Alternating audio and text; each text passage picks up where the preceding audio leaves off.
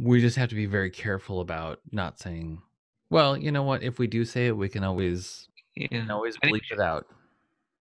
True. I think we should avoid saying or Oh, absolutely.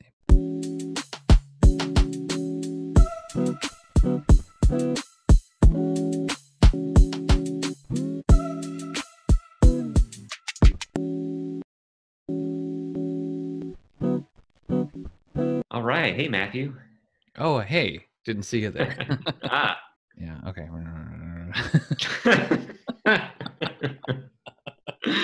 Take two. take well, ta take two for season two, right? I was going to say, welcome to season two. Welcome. Welcome to season two. I see what you did there. All right, take three. Take three. No, no, no. No take We three. have to wait for season three. right. Well, that's a wrap on season two, everybody. Good season, everyone. Good season. Good game. Oh, terrible. Well, we are back. It is season two. Welcome back, everybody. Yep, it's great to be back and to have all of our viewer watching us. all of all of our viewer. Hello, viewer.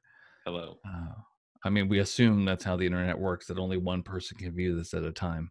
Right. Um, It's not- omni-channel, they call that. One right way. omni yeah it's every everywhere but just one so we are we are on season two as you saw with our awesome new intro Right. I was, by the way, that was impressive. thank I you was- thank you I knew it was going to be better than last season. I did not expect it to be that much better. but i have to step it up you know to be fair i haven't made it yet but But I know when you finish it, future future me is going to do a fantastic job yeah uh, it's going to be great. Yeah, be great. uh, kudos to you. thanks If I were wearing a hat, I, I would take it off. but you know we can't do it all alone and sometimes we have to uh, collaborate on things like we're Right. collaborating on the show but uh Right. just go with my segue. And sorry. I told you not to use that word. Oh lordy. Yes, we we do Yeah, often work together, not just on uh, YouTube channels. That's right. We also do it uh, for things we get paid for, Right. and we and we finished one recently, a big one. Right. We and it was it- interesting because the work we were doing, we don't. It's work that's not typically done remotely. Right. one. Right. A lot of times, it's it's work that's done in, in the same uh, co-location. So that alone presented some interesting challenges. But beyond that, it was just a really interesting large project, and I think it'd be great to kind of talk through it, explain how we attacked it, and whether or not it was successful. Dun dun dun. yeah, we should start with some some uh, some background for this so people understand what we're talking about. Yeah. What what was the project about? So we we did we were brought on. We did some work through another agency. We were brought on to. Uh, I think the the initial ask was to produce a journey map, and did that with some flavoring of a service blueprint as well. Um, And if I may just clarify, a current state journey map. yeah, yeah, absolutely. It's That was a very specific part of the yeah, project. and of course the one of the fun parts of that was they were doing a lot of reorganization a lot of a lot of upcoming changes so mapping out the current state while they were going through all these changes was challenging to talk about because it was well when this comes in in a couple months so for them the current state was also future state and as is typical with our, with our work there are NDAs involved and we're going to talk around those And we were it's not- specific. not, even to be coy about that. It's just you know we can't talk about that. You, you oh know, yeah, you know we respect the NDA. absolutely. And the piece of the organ, it's a huge, huge organization with hundreds of employees, many thousands of employees. and the specific slice of the organization was in their their telephone support, not just telephone, but other channels as well. Yeah. And not even their global support, but a very thin slice of even their support Right, organization. right. So to just give you an idea of, of, of scope and how we were trying to whittle it down to a manageable research activity. This is a huge, huge, huge organization. And they asked us to look at a very, very narrow slice of it and evaluate, yeah, their current state. Because part of that, the, the reasoning for the project from the client's perspective is they are so big they don't even know all their current processes right and that was kind of how this this evolved it started out being a fairly a, a larger project and was descoped considerably.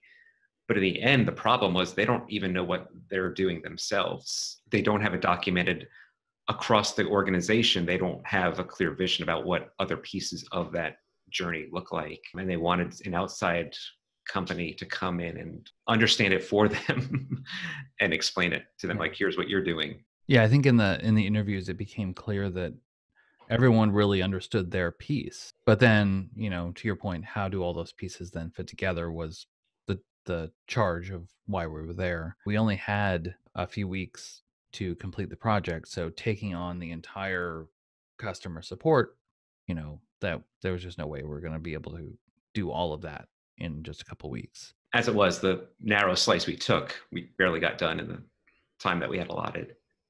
Right, because we could have done a lot more. And I think in a lot of ways we ended up doing a lot more than the scope necessarily called for, but it was the right work to do. And I will get to that. But yeah, there were definitely some additional opportunities that we uncovered beyond the scope that we were allotted that we would love to go back and, and do more yeah, it's probably good to talk about some of the constraints that we were working with is one was just a time crunch uh, two uh, we were doing this all remotely. Not just you and i being remotely but the client was remote. Our intermediary client was also based in another state. And then the research was happening all remote as well.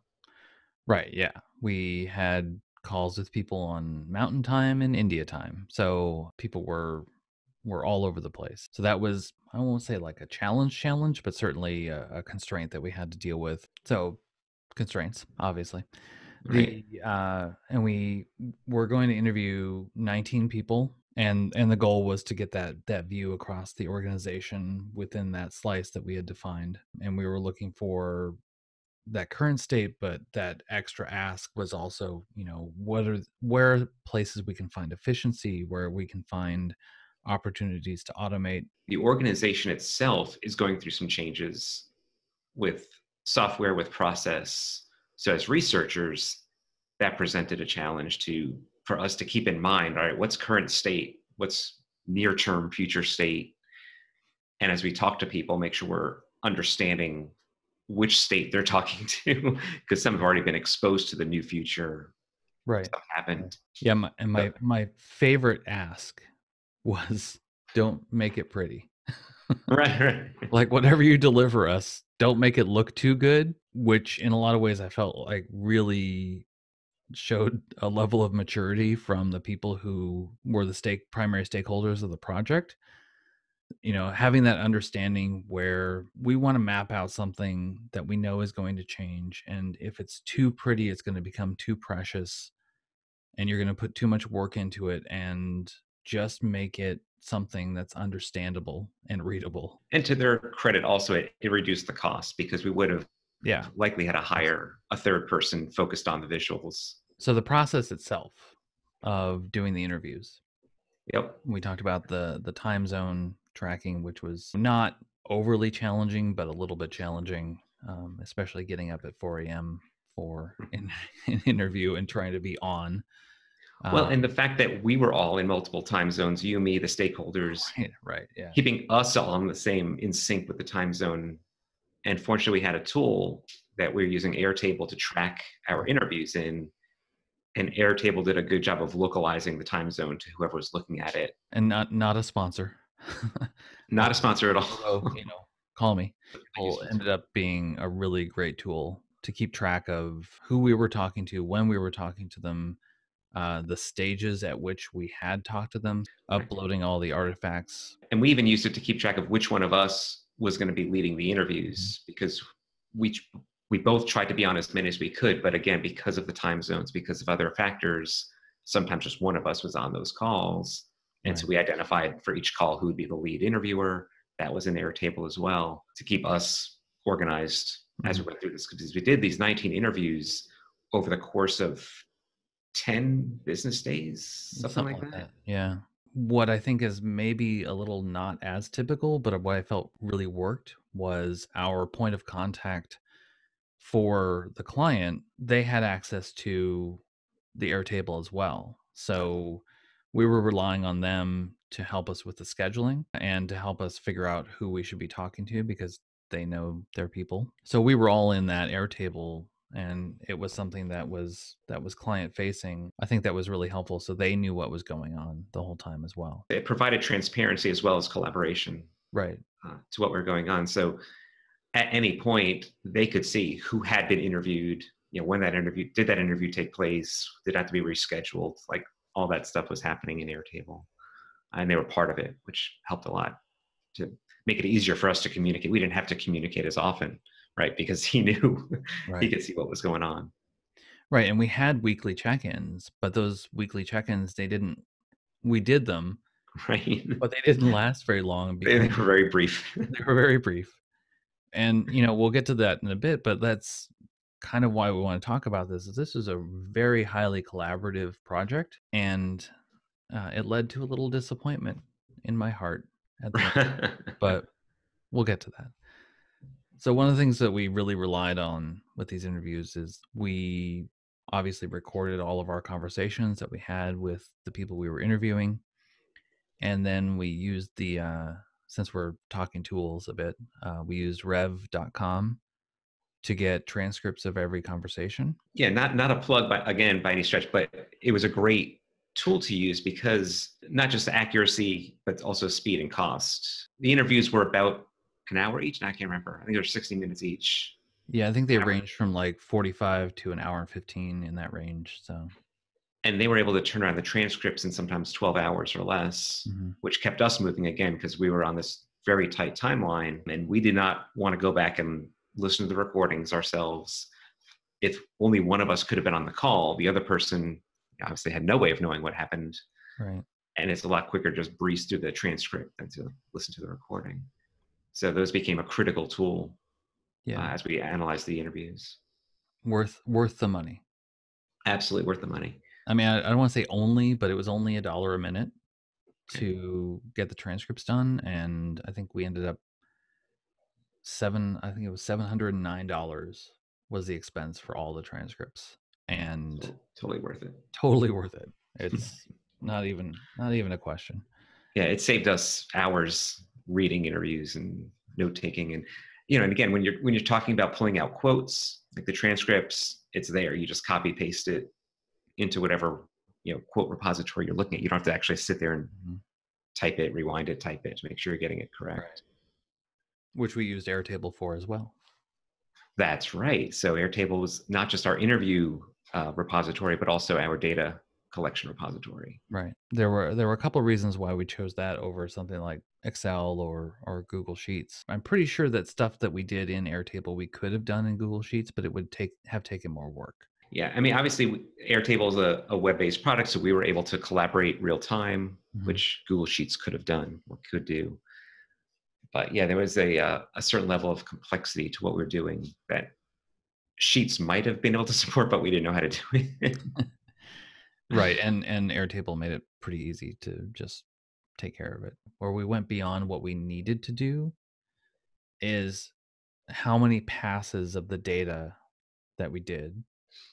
So in a way the first pass was the interview itself. The second pass was we would pull up the transcript of each interview together and live and, and go through and then but we get on a call like we're doing right now and we would take out the things that we thought were interesting or or salient uh, commentary on the process that we were trying to map and we would put that in the airtable and we would go through and and you know do the first participants transcript and we'd get done and then we'd go through that again together this time a little more conversational and pulling out the duplicates saying is this really important?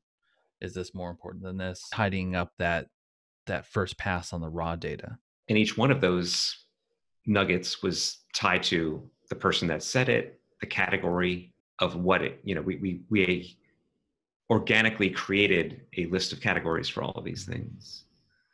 And so each one was then tagged to those categories as well. Right. Yeah. Once we had gone through all the transcripts we we categorized things and let let the data tell us what the category should be. So we, so we ended up with we didn't have any sense of like what things should be. How many data points did we end up with? 100 106 oh yeah it did get up to close to 180 it was like 179 i think we were just shy of 180 or something like that but so 180 and then we had seven categories? Uh, i forget seven or eight categories? seven or eight categories yeah. Yeah so you can kind of get a sense for the, the numbers that we're talking about. Not thousands but definitely enough that going through 180 items seven times was not a quick or easy Right, because then we had to go through and and summarize that because all the summaries would then be used as data points on the map, and all the items on the list. I don't think any of them were only one category of a thing. Right. Except for maybe the like the quotes where we just wanted to pull some what someone said as as a quote and put it on the deliverable. It's just paint a picture of the data flow. We went from the interviews into the Airtable sheet or whatever you want to call it, the table, and then each of those 180 data points then went into the journey map and were plotted to moments along the journey right. that emerged. And so each one of those data points was somewhere on those journey on that journey map.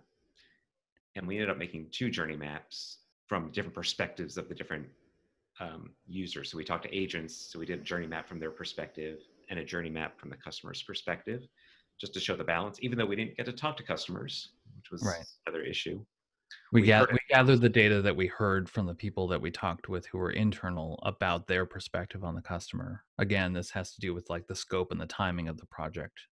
Right. Um, not that they they knew that talking to customers is the logical and appropriate next step. It's just for this project, we just talked with internal. But we felt like we were already hearing things, even though they didn't ask for that perspective. We felt it was our job, our duty to at least detail and document it out. So we ended up making an extra journey map in a way. uh, just we felt it was right, and we had the data, so why not? You know, the other thing that we talked about while we were building these these deliverables, because we were going to turn over the the Airtable as well, is the idea that these documents get shared internally after the project is over. We want that person, if they only ever see the map but don't see the Airtable, that there's traceability between the two. So I would say for the most part, you could just look at the map and understand what the journey is, what the pain points are, and how those pain uh, what categories do those pain points hit. But if someone just looked at the Airtable, they could get the the same sense. Maybe not the the nice visual aspect to it, obviously, but but all the data, you know, is traceable between the two documents, and I think that that's that's again something where we went a bit beyond what we needed to do because we knew that working with such a large organization you need documents to be able to stand on their own as much as possible. And i feel like that falls into the category of the client wouldn't have even known to ask for that because they just wanted a journey map. They didn't even know or expect to get the airtable like the actual raw data. Right. Um, but the fact that we we're delivering it we saw the the need or the future need to be able to tie those together. Because again, the journey map had summaries, the Airtable had the summaries plus the actual data from the transcripts. So as you said, they could always back into it. And the one thing we ended up taking out of the Airtable were the interviewees who said who gave us the data because we wanted to protect their anonymity. Um, so we actually ended up stripping out that attribute, which is a which is a promise that we make to all of our participants, whether they're internal employees or they're external customers. Is we're not going to name you. We won't name names. We've seen in the past when where people want to reach out to the customer and explain to them what what they really should have been doing, and that's not how this is supposed to work. So right, right. So after we got the journey map done in a good place, at least from our perspective, we had another ask from the client, and that was to do some collaborative workshops with the folks that we interviewed. Well, initially uh, it was just just the workshop. Right, exactly. That's what I was going to say. Oh, okay. yeah, yeah. Please continue. Please continue. Oh no. Well, so originally we they asked us to do a workshop at a a neutral territory at a location within the US that everyone was going to travel to. And we are going to do an on site two day workshop, I believe, that Matthew and I would facilitate. And as we got closer and closer to the day, so we had a date, a week that we had identified in the schedule to do this based on other external factors. And as we got closer and closer to that date, the client decided, due to cost, due to scheduling, that just wasn't feasible to get everyone into one room Right. at the same time. So we agreed that we would do them remotely. So it was going to be about 20 people, you know, all the interviewees. I will say, I will say when they're uh, like, well, we could do it remotely. And, and admittedly, I was, my first thought was, oh, I don't know how we're going to do 20 people on a call like this right. and have it be valuable and meaningful and keep their attention. Right. For two days. Right, right. So we, we, we didn't do that. we did not do that. We, we thought about it ourselves and said, how can we make this an, a useful exercise? And we, we changed the focus a bit. And I think it, it turned out really well. We, so instead of being a kind of collaborative workshop where we're going to do lots of activities of sketching and ideation, we flipped it a little bit. So it became more of a review of what we had learned. So we basically focused on the journey map and we walked everyone through. So let me back up a little bit. So we we broke it up. Instead of 20 people in one workshop we took the 20 people and broke it up into five small workshops with four people each. And we focused on the journey map by taking the groups through what we had done help us identify gaps things we might have misheard things we didn't even know what to ask for during our initial interviews. Basically correct us. We kind of set that expectation of we know this is not 100% right. We're looking for you to help us flesh this out more and improve it. All in all, it went really well. Engagement was really high. People got excited about it. They felt like they were part of the process. It didn't turn into a presentation where we were just, you know, reading things to people, though there was a presentation portion of the of the workshop. But it kept them involved and engaged,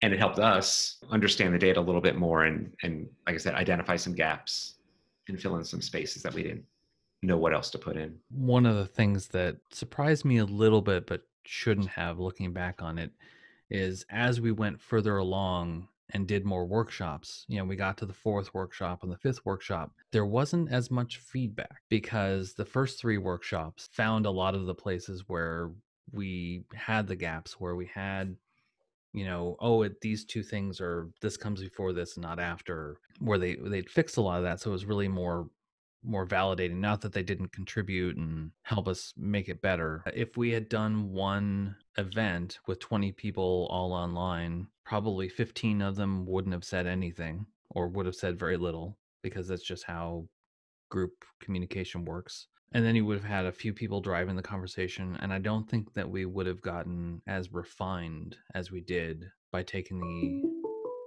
you got to be kidding me Always mute your phone. no that was that came through my computer Oh, is your computer? I can tell. anyway talking about that collaborative approach iterative approach um, i think got us to a more refined more accurate map than if we had done one workshop with 20 people Because we had, I think one of the workshops only had one or two people, or like one person for a portion of it because people had to come and go.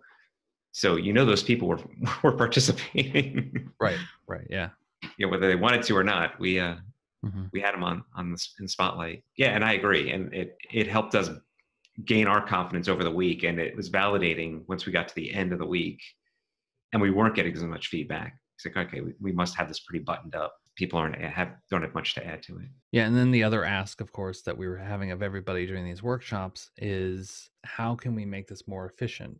So again, you know, we're trying to be current state, but as you're there, if you, you know, you see something that can be improved, why not talk about it? And so that's one of the things that we did in all of these workshops is we co-created, you know, principles that their internal team could then use to determine when they're looking at this if we're looking for areas of efficiency or automation what principles should we follow to determine if it should be automated and if it should be automated to what extent and how so we had we still had more classic workshop things for participants to do so it wasn't solely just you know react to this map that we have up on the screen here and let's move some boxes around but people were were contributing to the content that would ultimately be delivered. Jumping forward to the final readout that we did and why there was sort of a little disappointment at the end of Right. it for me because all those people uh, what did we have on the the final call 25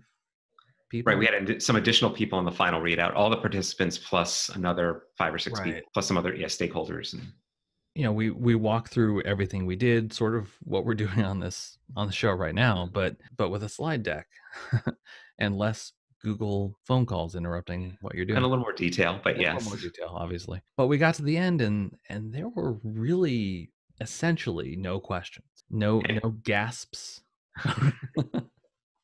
No ahas, no, no was like, and, and yeah, it's a, that's a result of being super collaborative because everyone was part of the process. We did we did our first workshops. We heard I think more surprises of like, oh, this is really interesting or this is really cool, and, and yeah, the, the the sparkle was off or whatever the phrase is. By the time we got to that last one, everyone had seen, except for those five or so people, everyone had seen what we were presenting and helped make it and helped make it. They were part of it. Um, so there was no uh, no accolades, no pat- pats on the back. there were pats, and they they did appreciate the work, yeah oh sure it was, it was fairly uh, anticlimactic.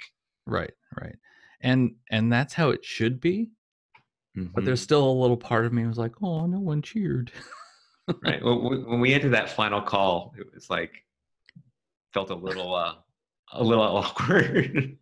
is that it are we done right, right. Like no more questions. You guys got it. Okay. yeah See you later. but that is But send us a very nice note. Yeah, they did send us a nice note, Yeah. appreciative of all the work that we did. Yeah, so it was a it was a final kind of ending with a thud, but not because it wasn't good work, but because there were just no surprises to it. Right. Yeah. All, I would say almost we could have not done the final readout and just hand it was totally better that we did it that way because I think it did a final contextualizing for everybody as a group of what we were handing over to them. But yeah, it was uh anticlimactic again, which is good. right, and overall, a really good and satisfying project for us because of you know we got I was obviously working together was always fun for the Right. two of us. But the project itself went relatively smooth, very smoothly with you know a few road bumps along the way. But client was very happy. We were very happy. Our intermediary contact was was very happy. Everyone was very happy, very, very happy all around. And it was a different type of project, not so much for Matthew and I, because we do work together like this often, but for the clients, Mhm.